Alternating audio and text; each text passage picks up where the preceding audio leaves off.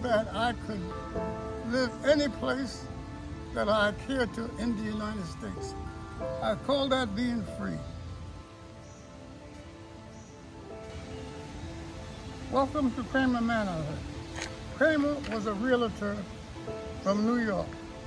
He used to come to Fanwood on a train and walk all the way to Lincoln Avenue in Fanwood over my aunt's house to sell property.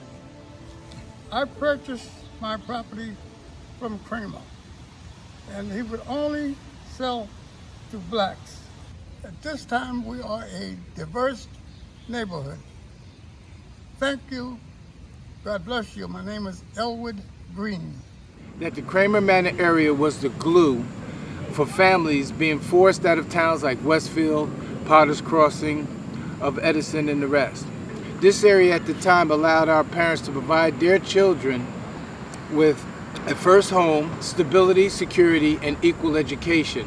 Let's face it, we are a product of the civil rights movement. The exhausted hours of research, we finally talked to an original family member and a good friend, Deacon Mr. Elwood Green Sr. My name is Jill Jackson Jones. I'm from the Truth and Racial Healing Initiative, as well as Social Justice Matters, as well as Union County Club. I'm also a longtime resident of Fanwood here in the Kramer Manor section of Fanwood and Scotch Plains. Here we are today in the Kramer Manor Park where it all started. This was a nucleus for us to develop our bonds between our neighbors as well as our friends and our family, of course. Before I turn things over to Kevin, I want to thank the rest of our project committee, Pam Brownstein, Douglas Lane, as well as Derek Garrett, as well as the support from our community, our neighborhood friends and families that provided their stories, their artifacts, their pictures. I also want to thank Deacon Green, our patriarch from the Kramer Manor section. We would not have been here without him, so thank you. Now I'll turn it over to Kevin Eldridge, longtime friend and Kramer Manor resident of Scotch Plains. Hello all. The reason why this project is important to all of us is we want to show the roots and the foundation of where all of the successful people from Kramer Manor came from. Kramer Manor has produced judges, Supreme Court judges, lawyers, doctors, real estate people, bankers, computer people. Uh, we have a plethora of people and professionals that came from this area whose all core roots started right here at Kramer Manor Park. It is important to show where we came from and why, why we're all so successful at what we're doing in this area. And now I'm going to turn it over to Pam Brooks. Thanks, Kevin. My name is Pamela Brooks, and I think my experience mirrors the experience of many people in Scotch Plains and Fanwood. In my 35 years as a Scotch Plains resident, my, I drove my children daily to the McGinn School. They played in Kramer Manor Park. We belong to Congregation Beth Israel at the perimeter of the Kramer Manor neighborhood. My children had friends, teammates, and classmates who lived in Kramer Manor, and yet with all of these everyday interactions, I knew nothing about the rich history of this neighborhood.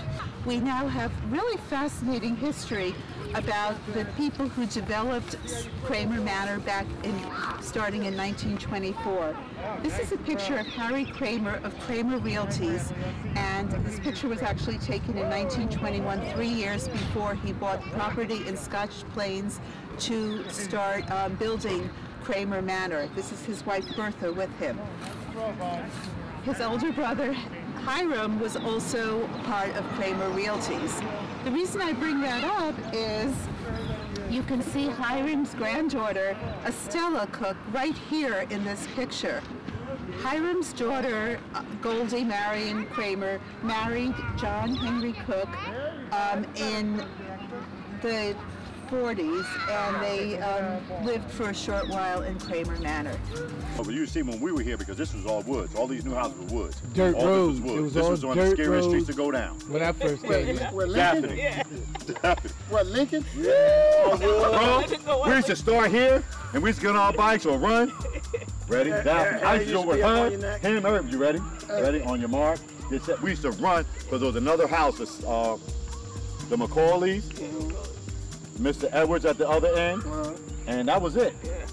Because this is not the original lineup of how everything no. was supposed to be. It was supposed to be more streets. Yeah, exactly. And all Lined the, up in here. all the originally all the streets were supposed to meet Cliffwood at the bottom. The But what happened was, I understand that, but what happened was once they found out that the blacks were going to move here, that's when they stopped it, and they made the woods as a barrier. Kramer Manor Urban Renewal Project. As a youth, I remember Mr. Kramer coming to our home on Jefferson Avenue in Scotch Plains to visit my parents, Clinton and Evelyn Jones. He owned most of the property from West Broad Street in Scotch Plains, New Jersey, all the way over to LeGrand Avenue in Fanwood, New Jersey. Mr. Kramer sold property to several Negro families in the section we now call Kramer Manor. Some of our Kramer Manor neighbors paid taxes in both Scotch Plains and Fanwood because their property was located directly on boundary lines. In the 1920s, 1930s, and 1940s, we had partial dirt roads with ruts that didn't continue and formed into walking paths. No sidewalks and no electricity. So we used kerosene lamps. We also had outhouses because we didn't have inside plumbing. There was no running water, so we had to carry water from the spring located off from Evelyn Street and from a well which was on Miss Bertha Lee's property, Shed Pump on Trenton Avenue. Later, the town of Scotch Plains installed a spigot on Martin Avenue opposite King Street, where we had to tote the water from that location. There were several Kramer Manor property owners, including my father, Clinton Jones, who in the late 1940s was issued a building permit to build a home in the Kramer Manor area on Jefferson Avenue. My husband, Leonard Townsend, was also able to get a building permit in the 1960s to remodel a home on Jefferson Avenue for our family. Sometime during 1961, as our Kramer Manor neighborhood continued to grow, I started reading articles in the Courier newspaper about the Scotch Plains Township Committee's plans for an urban renewal project for our Kramer Manor community. Our Kramer Manor neighborhood was being described as blighted. According to Webster's dictionary, the definition of blighted is one that withers hope or ambition, impairs growth, or halts prosperity. Sure, it may have been viewed as blighted, but that was based on their opinion of Kramer Manor in the 1930s and early 1940s. But this was in 1961. In our eyes, it was not considered a condemned area as the neighborhood continued to grow. It surprised me, and I started talking with several property owners, and we got together and had a meeting at my house at 1118 Jefferson Avenue, Scotch Plains, New Jersey. We formed the Kramer Manor Civic Organization, which consisted of Damon Brown, president, Willie Kelly, vice president, Idell Murray, secretary, and myself, Anna Townsend, treasurer. The NAACP president, Plainfield, New Jersey branch, Reverend A. Allen, was also invited to attend. We decided to attend the Township Committee meeting scheduled for June 20, 1961. We were puzzled and we needed to find out exactly what was being described as an urban renewal project. We had some questions. What would it mean for our Kramer Manor and area and the homes that fell on the Fanwood side like Trenton Avenue and Shady Lane? How would it affect the families that were already living there? Our Kramer Manor neighborhood and the Shady Rest neighborhood may not have had perfect families, but we were the perfect example of people who were willing to come together and fight for our community. When, when, I came here back in 68, Lamont, We were here. We- we were already here, were yeah. the first ones I met. As soon as you turn the corner of Trenton Avenue, We were, we were, we blocked the street. We just seen the group of black kids, a bunch of black kids, because there was about five or six of them out there. We stopped, and the first thing is, "Hey, how you doing? Oh, you're moving up the corner. Oh, can you race?" That's it. We got out, we got out the car. Everything was. We got out the car. We got out the car and we raced. And wait, wait, wait, a total transformation for me. Dirt roads, deer running Exactly, around. because we move. The guys want to race, and you know they're so friendly. You know, and I'm like, this is just gonna be great.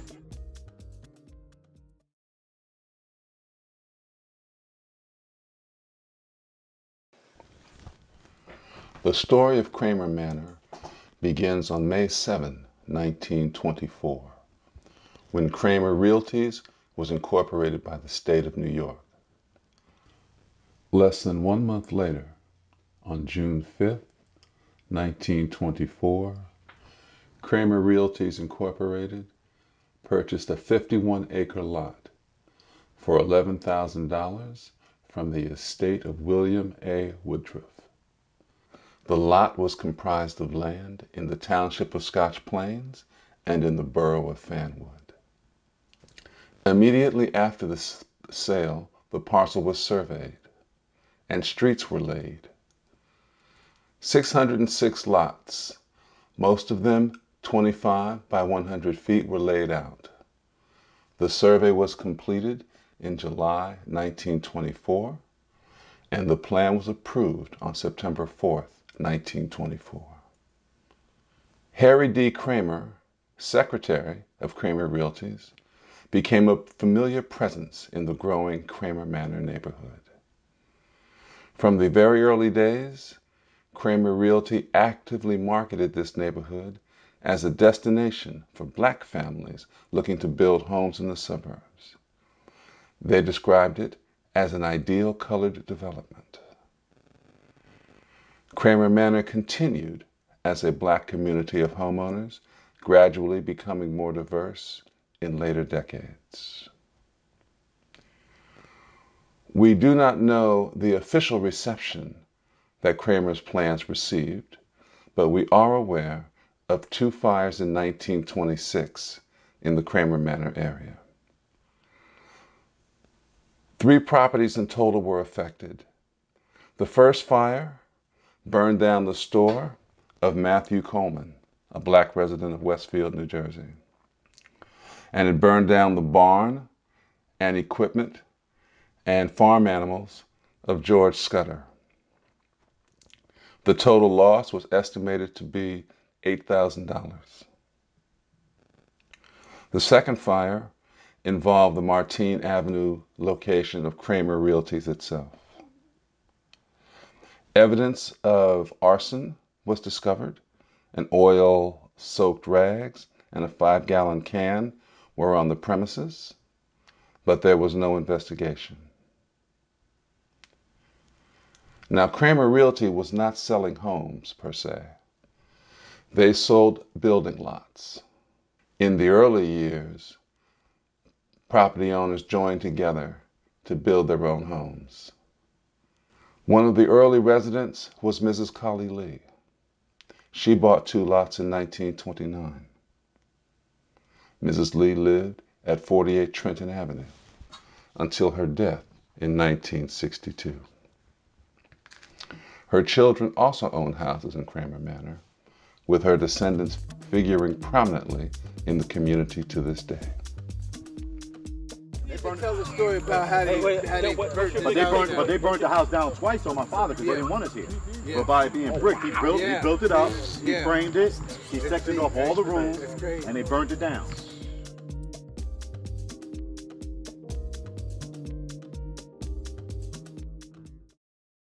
By 1930, three families had built homes on the Kramer Manor lots they had purchased. The 1930 census lists the Lee family, the Hadleys next door, and the Abernathys. The street address for all three houses is given as Martine Avenue, Fanwood. The adults were all born in the South. Only the two youngest Hadley children were born in New Jersey. From our team's 2021 interview with William Lee. My mother and father both came from Florida. Now, do you know? Do you know what brought your family from Florida up to uh, the area? Well, the, the hope for a better life, right. to get some things that we didn't have. Okay, but how did how did but how did you how did you guys land in in in, in Scotch Plains? Well, my mother, my grandmother landed there 1st mm-hmm. and I really don't know how she came to come there. And at that time, we had the house when we were born. We had the house on we called it Wilson Avenue. Mr. Elwood Green recounts interactions with Harry Kramer and sheds light on how lots were bought, sold, and paid for. See, Kramer lived in, uh, his office was in New York. Mm-hmm. Every Saturday and Sunday, Kramer would walk from the train station to my aunt's house on Lincoln Avenue. Okay. And him and Papa John would have the wine, and he would lay out his big map. and uh, people would come in and purchase property. At that time, the lots was $250. And I knew a lot of people, especially from Westfield, that purchased property, but they lost it the taxes. Ah.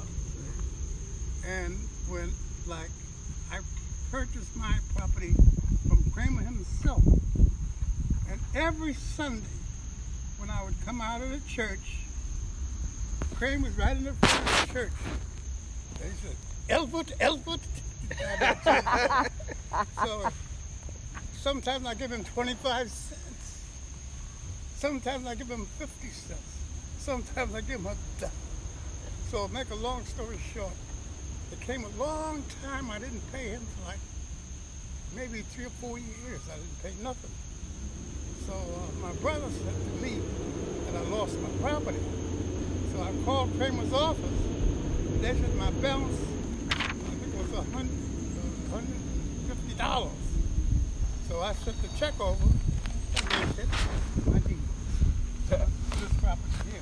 It was a struggle for many purchasers to pay off the 250 or 299 they owed on each lot, and most buyers bought at least two lots. Once they owned the land, they were faced with the formidable challenge of building homes without bank loans, as the federal government refused to back mortgage loans to black applicants. Neighbors helped each other weekends and summers to construct homes without bank financing. Harry Kramer took his own action on behalf of the residents. Historian David Freund details Kramer's efforts in his book Colored Property, and I will read from that book now. They asked me if I had FHA approval. I told them no. The reason was that it is a colored development. He then said, I am sorry, I cannot do anything for you. On the QT, he said word had been passed around that no loans will be given to colored developments. Kramer recounted this story in a letter to Franklin D. Roosevelt that summer and appealed for help. He said, Knowing the feelings of Mrs. Roosevelt and yourself in this matter, I wish to state that I represent people who are loyal and patriotic citizens, but any member of them are bitter in their hearts to think that this great and glorious country should discriminate against them on account of color. Mr. President, he concluded, is there anything you can do to assist us in getting a loan? Fully eight years after Kramer's plea, and five years after he declared personal bankruptcy, the Truman administration at long last made it possible for Kramer Realties to market lots in Kramer Manor with the assertion that loans were approved by the FHA for building.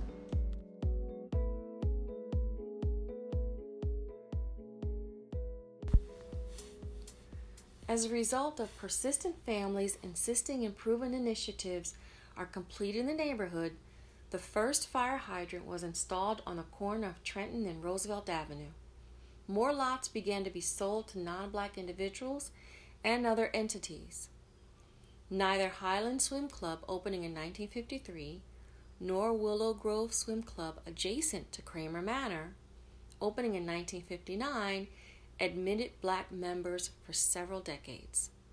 However, some people growing up in Kramer Manor in the 1970s remember swimming after hours, with either the unspoken approval or those in charge turning a blind eye. And I let these kids swim because I can't swim, you know? but I let these kids swim as long as they didn't go in that deep water, you know. And they would swim, it'd be dark out. I said, just keep your voice down, don't be loud. because, uh, uh, people in the neighborhood can hear you, you know, people over a little pump can hear you, they know what you're doing. They tell them, you know. So, uh, you know, these kids got a lot of swimming in, and they did swim down there. And there was, there was a couple of guys who my brother knew from the high school and coaches, Ray Schnitzer. Mm-hmm. He was one of them. He was, he was the principal. Yeah. When I was in school. Yeah. Yeah. Ray, Ray was one of the guys that turned his back the other way as long as I was there with the kids. And you did sure. They turned their back. You know, they, they, they, they let the brothers swim. You know? I mean, they, they don't be swimming in that water with the white folks. you know? One of the most important developments during the 1950s was erection of formal structures for several churches that were founded many years earlier. The first of these churches was Emmanuel Baptist Church. Emmanuel Baptist began in the late 1920s in the home of Sister Hattie Brown. The first pastor was Reverend Smith Cyrus. Throughout the 1930s and the 1940s, regular services were held in the homes of various members, including the garage of Sister Collie Lee, until the church bought several lots from Kramer Realties in the 1940s. The church initially contracted for lots on Jefferson Avenue, but later took title to a parcel at 1130 Lincoln Avenue, which was Fanwood at the time. The cornerstone was laid in 1950 and the building was completed in September 1952 under the leadership of Reverend Thomas T. Weaver. The second church founded in Kramer Manor was the Warren Temple Church of the Living God, located on Evelyn Street. Like Emmanuel, Warren had humble origins. Reverend Warren was actively involved in the community, advocating for Kramer Manor. Well, you know, if you look back, you will see that there were uh, there was a a church behind my grandparents' home at 48 Trenton Avenue. It was called a COGIC, Church of God in Christ and they used to have a little banner sitting up on the, the um, on the, trees. Was it in the garage or in the yes, I was in the garage. It served as a garage. It served as a meeting place, and uh, it, served as a church. You know. So that's before the churches were there. That was the first church around. Well, now I don't know if that was the first church or whether that there was another church, the Warren Temple, that oh. was on Evelyn Street. Right, that came after. I'm sorry. I'm sorry. That came after. Yeah, that came after. There was a barn, big barn, a big red barn, and that's where Reverend Warren held church. This big red barn, and we used to make fun of it because we said when when it, it, it they get to shouting and the uh, and the wind started blowing, that barn that barn's gonna come down. both churches were built with strong community support that reached across denominational lines. Many of the same people who helped to build Emmanuel Baptist also worked to build Warren Temple. One of those community builders was Sylvester Buster Hadley. Hadley built the home he and his family lived in on Trenton Avenue. Bobby Lee recalls. Hadley, it was guy Buster Hadley and his wife, and he had three sons uh, James, uh, Sylvester, and, and a daughter Mary, and he had another another one. I can't, I can't can't think of his name right now, but he always said that he was a Moorish American. Oh, he was a Moor. Yeah, and it was he was Buster Hadley L E L. You know, he would put that in his name, and he when he would be riding in his truck, that's what he had. But Hadley, uh, uh, his son was a little older than my brother and I, but he he would tell us, well, my father was going to the temple in Newark today, and that temple was supposed to be somewhere on Prince Street in Newark. Mm-hmm. And if you recall, in Newark, that was a, yeah. a thriving area. Yeah, that's like, yeah, that's like a Broad Street. Yeah, and and they would they would that's where they would have their services. Now, whether they had the services once a week or twice a week, I, I don't know.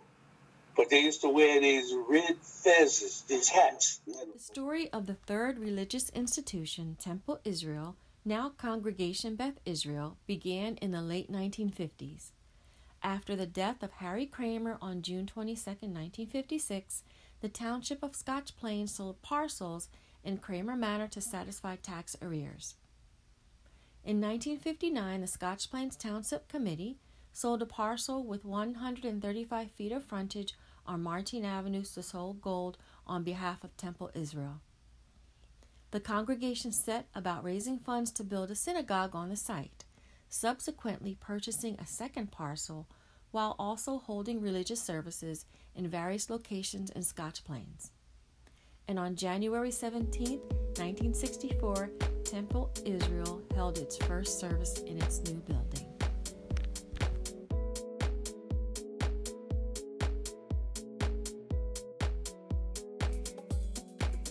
The 1960s were pivotal years for Kramer Manor. Successful community organizing, school construction, plans for a park, and overdue neighborhood improvements mark the decade. Residents were especially spurred to action in 1961. That's when Scotch Plains officials designated Kramer Manor as blighted for urban renewal purposes. Initially, no Kramer Manor residents were named to the Scotch Plains Redevelopment Agency or its Citizens Advisory Committee. Soon, concerned residents created the Kramer Manor Civic Association. Also in 1961, the Reverend Frank W. Allen, president of the Plainfield NAACP chapter, and others insisted on involvement by Kramer Manor residents on urban development issues. The redevelopment agency then asked that its Citizens Advisory Committee be expanded to include Kramer Manor residents. That same year, residents in Kramer Manor and Shady Rest, Scotch Plains' largest black neighborhood and now known as Jerseyland, formed the Scotch Plains Civic and Protective Organization, which monitored master plan and urban renewal proposals. For almost 40 years, Kramer Manor residents had developed their own roads, dug surface drainage, and built their homes. They now were seeking improvements and development of underdeveloped land as well as home repairs. Ultimately, federal urban renewal was doomed by the township's lack of homes to relocate displaced homeowners, a federal requirement. And in 1964, the Township Committee favored rehabilitation over urban renewal. Kramer Manor residents had other victories as well. They opposed an original location for a new elementary school, and by November 1966, the William J. McGinn Elementary School opened at a different site. They made their voices known elsewhere. In the mid to late 1960s, Sewer installations and road paving projects were completed in Fanwood and Scotch Plains. Homeowners in both municipalities questioned the accompanying assessments, citing long neglect of the areas.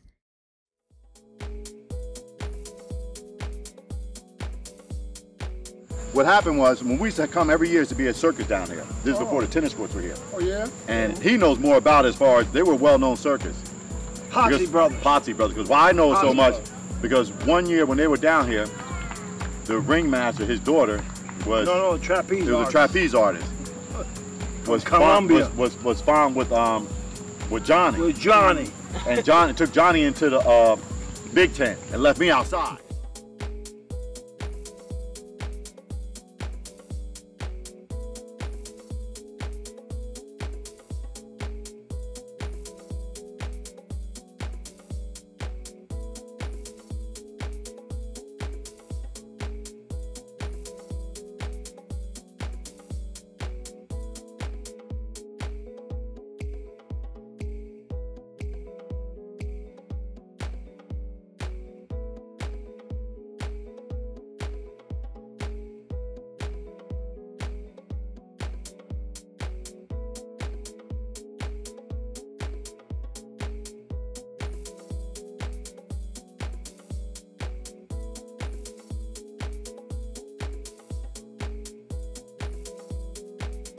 Most of the early homes erected in Kramer Manor were built in whole or in part by the property owners. Homes built in the early to mid 1960s continued to be marketed primarily to African Americans. Many of these new residents worked in law enforcement in high ranking positions such as police directors, lieutenant detectives, and FBI officials, to name a few.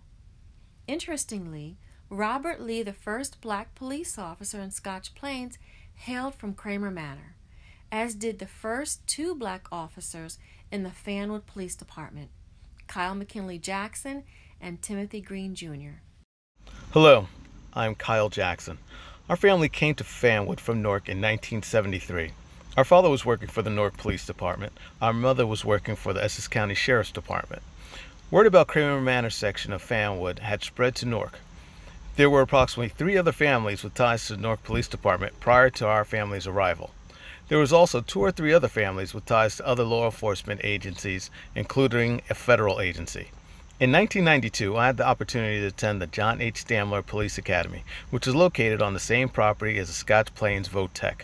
The new police academy program was called the Alternate Route. Approximately 20 of us were sponsored by the Union County Prosecutor's Office. When we graduated, we were like free agents and could apply to any police department in New Jersey. This saved municipalities from paying for a recruit for approximately six months while they were in the police academy. When I graduated from the police academy, there was an opening in the Fanwood Police Department. I was hired as the first black patrolman in Fanwood history. At the same time, my good friend Daryl Peoples became the first black chief of the Fanwood Volunteer Fire Department. I sing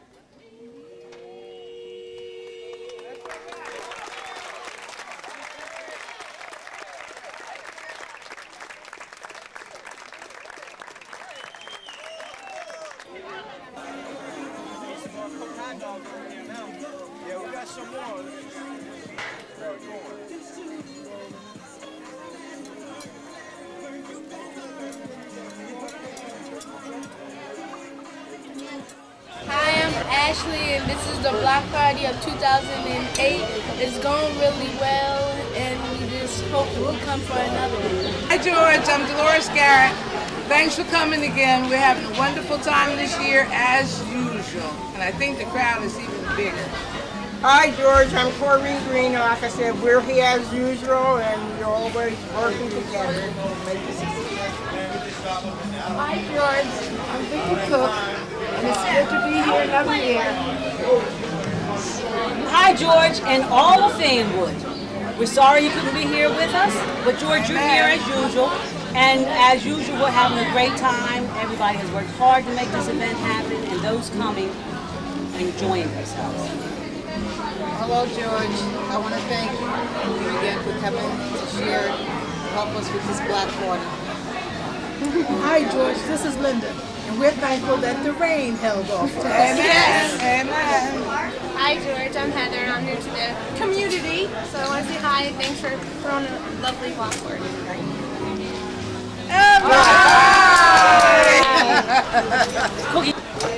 I think the party wish everybody a nice 4th of July safe and happiness and wish them the best healthiness.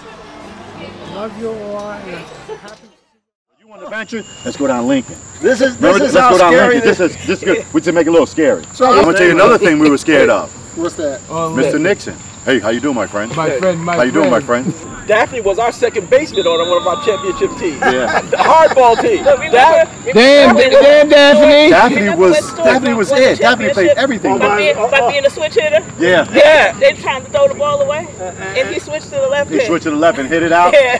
The thing, the one thing that got me, the most creative thing ever got me, and he got in trouble for this, is Jinx and Gerald Merrick. Jinx went and took his mother's curtain rods, the white ones, uh-huh. and put them. Remember, he came, he went and came, put them down on his feet, and went down the hill. And when he tried to put them back, they had the water in between his mother's curtains. When Lincoln was water, he got a beating. I mean, I mean, things like that. I mean, you don't. Come on. What's the biggest thing you took away from from growing up in this park? All of y'all. Uh, I, would, I would have to say a sense of community. I know that's low hanging fruit, but I mean, you know, sense of community You know- and, and strengthen, you know, I- I- having relationships. I, I got I got to say team building, relationship building, and, and just knowing how to interact with people. It taught the park taught us how to interact with each other on a whole bunch of different levels. Uh, almost like what they were saying. Um, see the difference of what we now call freedom out here. You know, we felt free out here to be able. I couldn't get beaten anymore at 10, 11. I was at your house till 11. till- You know, it didn't matter. I couldn't get beaten anymore. So I had the freedom, good or bad. You know, um, I had that freedom to be able to explore and express myself in ways. If I was in a different community, like you said, it could have been some different And it's results. funny 'cause every- I would just say like life and friendship. Yeah. With this guy, I've known this guy since I was six years old. And I remember them moving in and we just looking across the street at him. And I was like, oh, that's Here something they different. Yeah. No, but it was, I mean, that's, this is, just like like you guys said, like the family, and it's like family is not always blood because yeah, mm-hmm. that's I it. feel That, you like just said it right there. You guys are my family. That's right. We don't share the same bloodline, but we're definitely family. What does Kramer Manor look like today? Well, today, our neighborhood is of about 100 homes and is a family rainbow of many beautiful shades and of several cultures. Our blocks are filled with a mix of long-standing residents, multi-generational Kramer Manor families, and newer arrivals who are getting acquainted with the neighbors, towns, schools, and now the rich history of the neighborhood and, of course, Kramer Manor Park. We hope our neighbors continue the Kramer Manor tradition of nurturing strong relationships and lasting bonds, just like we did. As we look to the second century of Kramer Manor's existence in 2024, let's not forget the vision of the two entrepreneurial brothers and the energy and stubborn determination of the great grandchildren of enslaved Africans who built this foundation and the homes that many of us reside in today. Let's continue the legacy of this historical neighborhood, educate and preserve. Tell everyone it's a fascinating story.